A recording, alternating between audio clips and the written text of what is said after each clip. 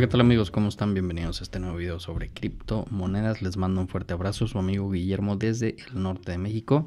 Este domingo 14 de junio son las 6.29 de la mañana y los saludo desde el, nuevo estudio oficina. Todavía no está 100% terminado, faltan algunas cosas como el escritorio. Ahorita estoy en una, aquí como una repisita este, grabando, pero esto pues yo creo que ya está suficientemente bien como para grabar, aunque pues, todavía no al 100. Entonces, este pues el día de hoy, este domingo, vamos a ver video sobre esto vamos a ver un poco de análisis técnico aquí sobre Bitcoin este probablemente nos vayamos a ver así rápidamente Ethereum Litecoin Cardano PPT para ver cómo se ve en la gráfica después de la bajada que tuvimos de los mil dólares de Bitcoin prácticamente este por acá del 11 de junio, hoy es 14 de junio, que ha estado aquí moviéndose un poco lateral dentro del triángulo, pero ahorita vamos a ver sobre eso. También vamos a ver las noticias de la semana, que pues, hay una buena cantidad de noticias y veremos la rifa de los 0.2 Litecoin que este Primero tuvieron que haber dejado un comentario aquí en este video del domingo pasado, súper importante, cierre de verla semanal, más rifa de 0.2 Litecoin. Aquí me debieron de haber dejado un comentario con su dirección de Litecoin. Y con este video se va a hacer la rifa que ya tengo aquí preparada. Y después la persona que salga ganadora, vamos a revisar si dejó un comentario en este video, Copy Trade en RoboForex, donde les pedía que contestaran si un video antes de ese sobre Litecoin si había sido grabado con micrófono o con la diadema o como se llame, como le digan. Entonces, pues vamos a ver este si sale el ganador. Como siempre les digo, vamos a hacer tres intentos básicamente. Entonces vamos a comenzar aquí con este, esta gráfica de Bitcoin. Estamos viendo Coinbase en velas de 4 horas, en donde aquí vemos que una está dentro del triángulo ascendente todavía, este, como habíamos dicho desde que cayeron los mil dólares, como hizo un wick por abajo, pero después se vuelve a meter aquí dentro del triángulo ascendente y ha estado tradeando el fin de semana dentro del triángulo ascendente. Actualmente está en 9.436 dólares y vemos que los futuros de Bitcoin que están por acá cerraron en 9465. Entonces tener ese número en cuenta este, antes de que arranquen los futuros de Bitcoin hoy por la tarde, hoy domingo por la tarde. Este todavía falta un, pues unas buenas 10, 11 horas para que arranquen los futuros de Bitcoin y el precio de Bitcoin está más o menos por donde se quedó el de los futuros. Entonces, ahorita no hay un gap. Si antes de que arranque los futuros de Bitcoin rompiera el precio hacia abajo o rompiera el precio hacia arriba, se crearía un gap y sabemos que eso actúa como un imán, ¿no? O sea, si vamos a pensar rompiera aquí hacia abajo y se va a los 8800, después arrancan los futuros de Bitcoin y lo más seguro es que lunes o martes o miércoles el precio volvería a los 9460, como por donde está, más o menos por donde está ahorita. Mismo caso si se fuera hacia arriba y nos empezábamos a emocionar de nuevo y se fuera para los 10.000, abre los futuros y lo más seguro es que lo va a jalar para abajo nuevamente. Entonces, este, pues tenemos que esperar a ver qué es lo que sucede. Ahorita en velas de cuatro horas, este, si vemos la nube Ishimoku, se ve que tenemos resistencia aquí, que tenemos resistencia acá. Eh, aquí sería bueno, a lo mejor ya como por acá en este horario, a lo mejor va a estar muy muy apretado el precio entre la línea ascendente y la media móvil de 21 21 interacciones de 4 horas. Este y va a tener que tomar una decisión de subir o bajar. Esperemos que aguante eso hasta que abran los futuros de bitcoin para que no tenga que después haber otro movimiento fuerte hacia arriba o hacia abajo si vemos el eh, ribbon exponential ribbon vemos el mismo escenario como rompió, se fue fuertemente hacia abajo una vez roto y este pues va a empezar aquí a apretar la línea ascendente del triángulo con el exponential ribbon. ribbon. Si vemos velas de un día, se ve un poco diferente el escenario. Aquí en velas de un día vemos cómo está el triángulo y abajo hay una nube bastante buena de soporte de la nube Ishimoku desde más o menos por aquí los 9100 hasta los 8200. Entonces, si rompiera hacia abajo, esta nube le debe dar soporte para después un, un posible rebote hacia arriba y volver a ir a buscar, intentar, como vemos por aquí, este romper o atacar de nuevo esta línea que es la que viene, la amarilla es la que viene desde el 2017. Entonces muy importante romperla. Y si vemos eh, el exponential ribbon también, ribbon también en velas de un día, este pues vemos que también va acompañando aquí prácticamente al triángulo ascendente y el soporte también lo tiene hasta por acá de los 9044. Vemos como en la bajada que tuvo le dio soporte acá casi casi la última eh, capa o layer del exponential ribbon, exponencial ribbon. Entonces, pues bastante interesante lo que se está cocinando aquí con Bitcoin para ver qué es lo que va a pasar, qué es lo que hará después. Nos vamos a ver rápidamente a Ethereum este, en velas diarias. También vemos que Ethereum este, pues, tuvo la misma caída, está jugando entre estos dos niveles de precio, entre los 2.39 y los 2.24. Vemos que ahí fue donde este, rebotó el precio un poco. Ethereum está arriba de la media móvil de 21, lo cual es algo bueno. Vamos a ver si lo logra empujar hacia arriba y vuelve a intentar ir a romper esta línea de resistencia blanca que tenemos aquí marcado para que se vaya a buscar precios más altos. Es una probabilidad. Este, vamos a ver qué es lo que hace Ethereum. Sabemos que más o menos lo que hace la mano hacia el atrás. Este, entonces, pues vamos a ver qué pasa. Litecoin, por otro lado, este, muy similar el caso. Vemos que viene la bajada, rompe y atraviesa el triángulo ascendente. Después se mete momentáneamente y actualmente aquí coqueteando con este, este, eh, este soporte ascendente que tiene. Baja, sube, baja, sube. Entonces vamos a ver qué es lo que hace aquí Litecoin. También está haciendo aquí prácticamente eh, tiene un juego entre el soporte que le está dando la nube Ishimoku y la resistencia que le están dando aquí las medias móviles. Entonces también interesante el que le va a pasar a Litecoin en las próximas horas. Vamos a ver, creo que viene algún movimiento interesante en las próximas horas. A Cardano este, vemos que vino... Eh, tocó, atravesó momentáneamente aquí el FIBO, el nivel FIBO 3820, después se va hacia arriba, vemos cómo actuó este nivel FIBO bastante bien y este después ahorita vuelve a está como que intentando bajar nuevamente entonces vamos a ver si le vuelve a dar soporte aquí este nivel Fibonacci y también la media móvil de 21 días. Vemos que la nueva Ichimoku este pues también le daría soporte aunque todavía le faltaría bastante bajada si viniera a probar la nueva Ichimoku hasta el fondo. Y por último PPT este después de la subida estrepitosa que tuvo acá el viernes creo que fue no, fue antes, fue como el miércoles o jueves. Viene la bajada fuerte. Este, aquí vemos que le dio soporte la media móvil de 200 días. Eh, y tenía yo aquí marcados estos dos cuadros donde vemos también que le da soporte a este último cuadro y después se sube a este, estar entre estar tradeando entre los dos cuadros y actualmente arriba de la media móvil de 21 días. Entonces vamos a ver si PPT sigue aquí con su movimiento hacia arriba. A lo mejor podría estar aquí lateral un, un ratito después irse a meter a este cuadro y después comenzar a subir, este, eso sería algo bastante, bastante bueno para PPT. Entonces vamos a ver qué es lo que pasa, qué es lo que sigue haciendo. Y durante la semana voy a hacer un video, encontré ahí una información que se ve bastante interesante sobre Litecoin. Este, entonces pues vamos a ver esa información próximamente.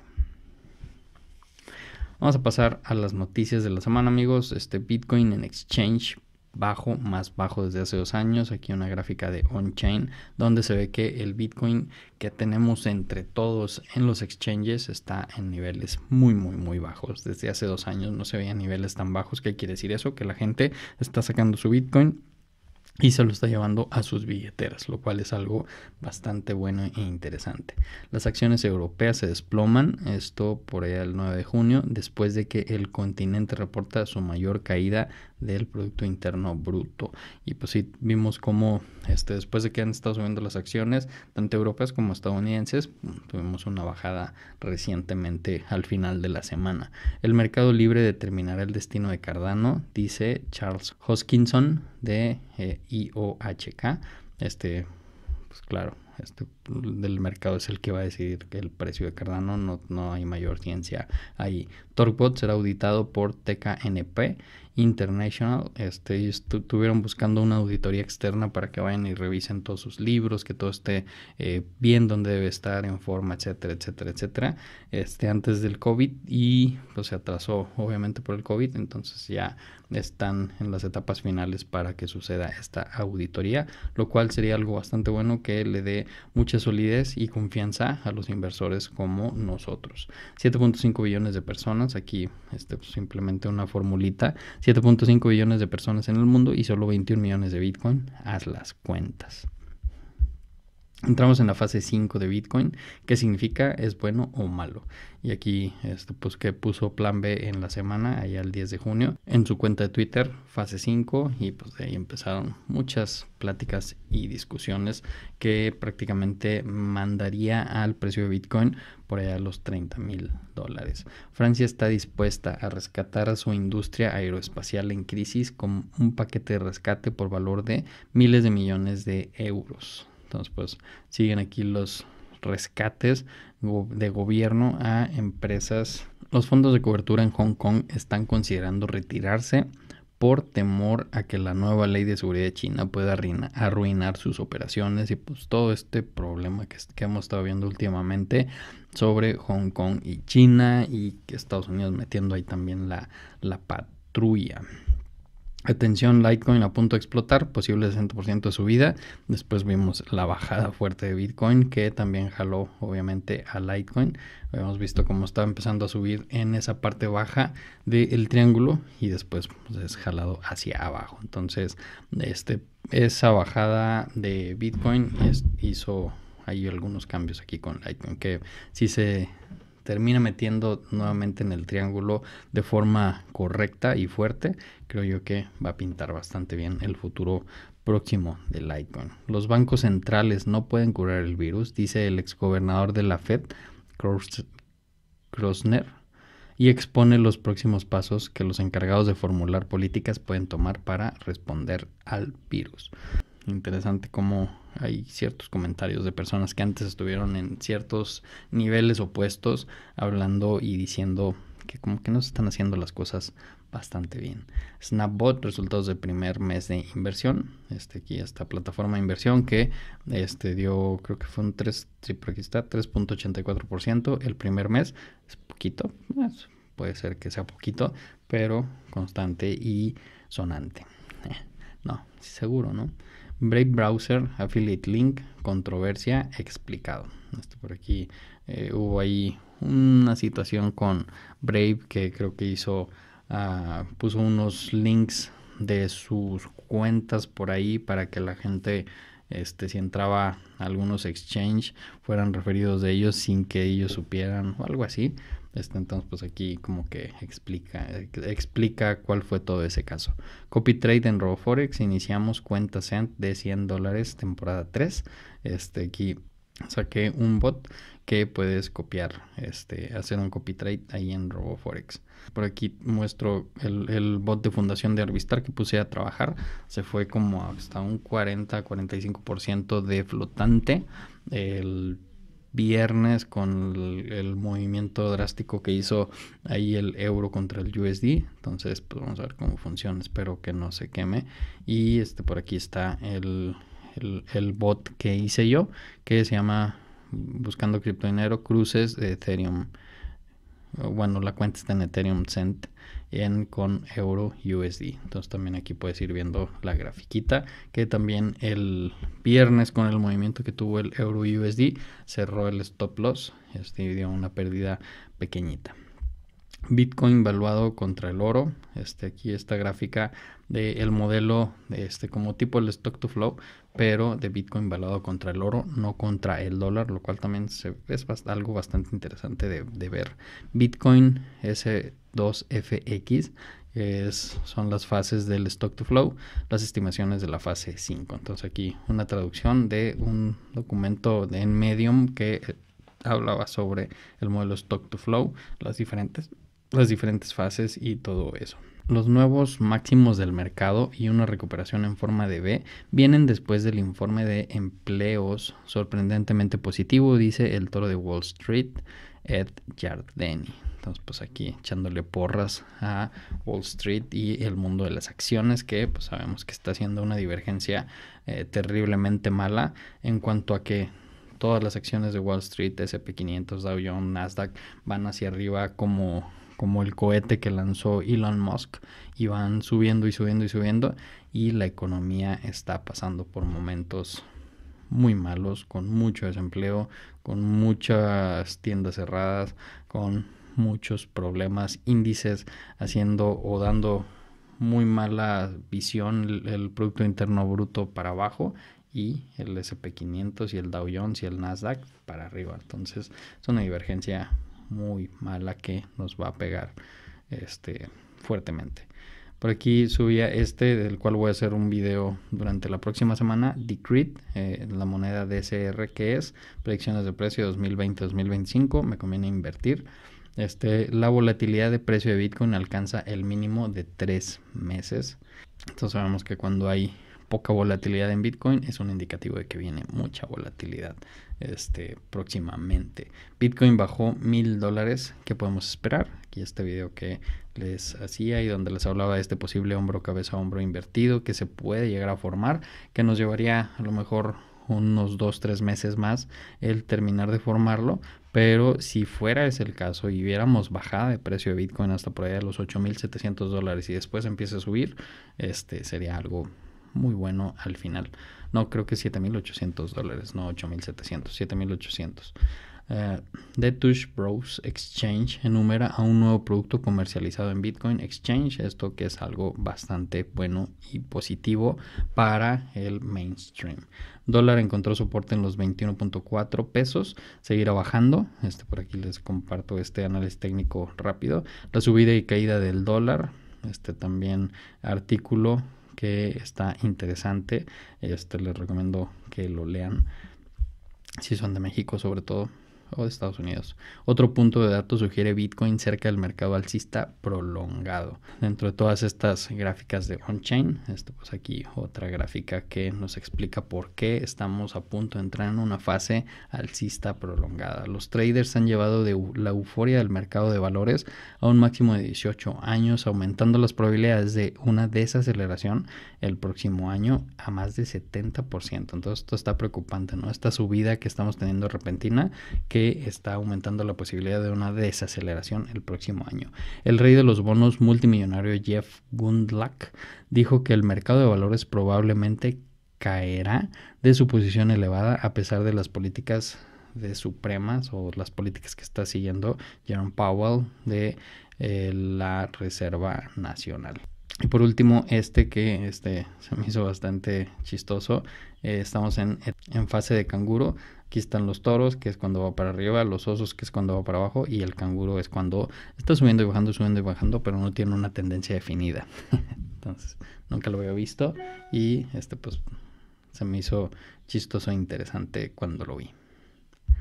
Entonces, pues vamos a pasar ya a la rifa, amigos. Ya se me acabó aquí el tiempo y ya para no consumir mucho más de este tiempo y que queden 21, 22 minutos cuando mucho el video, este, vamos a ver quién es el que sale sorteado aquí en este video del domingo pasado y pues mucha suerte a todos. Vamos a ver si sale aquí algún ganador. Aquí sale Darwin Hernández. Hola amigos, saludos, buen video y felicitaciones al ganador. Y vamos a ver si Darwin dejó comentario acá en este otro video donde me tenían que decir si en un video que no salió aquí mi cara, este usé la diadema o usé el micrófono. Entonces vamos a buscar aquí a Darwin, Rafael, Cripto Diego, ta, ta, ta. No, Darwin no dejó comentario por acá. Entonces, este, bueno, vamos a escoger a un segundo posible ganador y el segundo posible ganador CTTNT, interesante análisis, aquí me deja su dirección y vamos a ver si CTNT dejó aquí algún comentario. Mm, no, no dejó comentario. Entonces pues vamos por un tercer eh, posible ganador y Débora Cardoso, buen, buena data, participó en la rifa. Y vamos a ver si Débora Cardoso dejó por acá comentario. Débora, Diego, Jorge. Débora Cardoso. No se escucha también ese video. Para mí usaste diadema. Entonces, pues sí, sí le, sí le atinaste, Débora. Este, casi todos dijeron que usé el diadema y sí fue así. Este, ya regresé a escuchar los videos y sí, sí se escucha mucha diferencia con el micrófono. Este, creo yo que para bien. Entonces, pues muchas felicidades, Débora. Eres la ganadora. Te voy a mandar 0.2 Litecoin durante hoy o mañana a más tardar. Este, confírmame por favor que esta dirección es correcta y es de Litecoin para que no la vaya a mandar a una dirección de Bitcoin y se pierdan esos Litecoin por siempre. Este, y pues muchas gracias, sigan participando. Espero que les haya gustado este video, amigos, que les sirva de algo, que les eh, dé algo de valor a sus análisis. Y les mando un fuerte abrazo. Hasta la próxima. Bye bye.